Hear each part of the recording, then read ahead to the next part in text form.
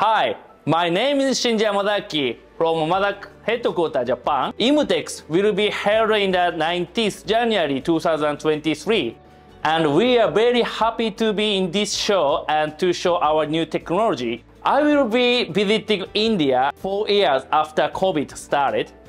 Please visit Mazak booth. I will be in there. I'm looking forward to meeting you at IMTEX 2023.